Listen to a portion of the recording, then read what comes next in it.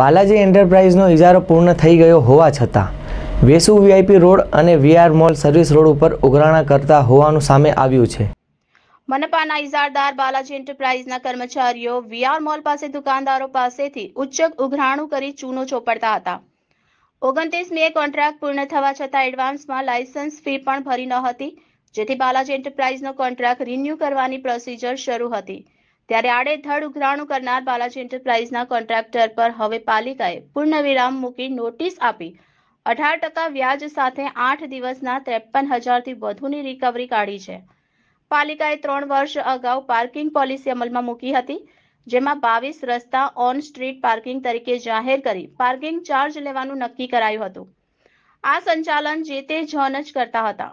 શરૂઆતની દસ મિનિટ માટે પૂર્વ મેયર ડોક્ટર જગદીશ પટેલે ફ્રી કરાવી હતી.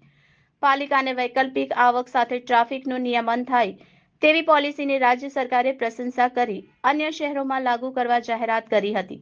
જોકે પદાધિકારીઓ બદલાતા અને પાલિકાની તિજોરી તળિયે થઈ ગઈ હોય, આ પોલિસી અને રસ્તા કોન્ટ્રાક્ટરોને વેચી લોકો સાથે ઉઘાડી લૂંટ શરૂ કરાઈ હતી.